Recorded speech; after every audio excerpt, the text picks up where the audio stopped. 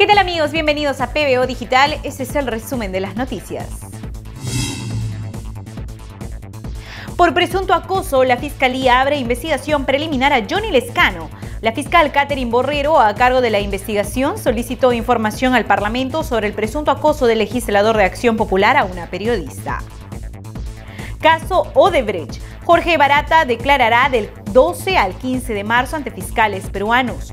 El ex superintendente de Odebrecht en el Perú será interrogado sobre casos que vinculan a los exmandatarios Alan García Pérez y Alejandro Toledo Manrique, además de la exalcaldesa de Lima, Susana Villarán de la Puente. Inscrito, Partido Morado de Julio Guzmán ya figura como inscrito en web del ROP. Si bien así se consigna en el sitio web de dicho organismo del Jurado Nacional de Elecciones, está pendiente la publicación de la resolución que así lo oficializa.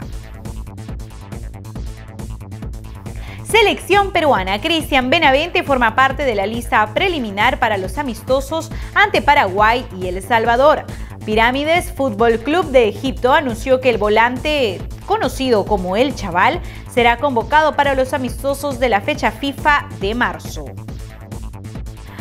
Tras recibir gaviotas, Yuri felicita a Susan Ochoa y le pide ceviche peruano. ¿Hay otro?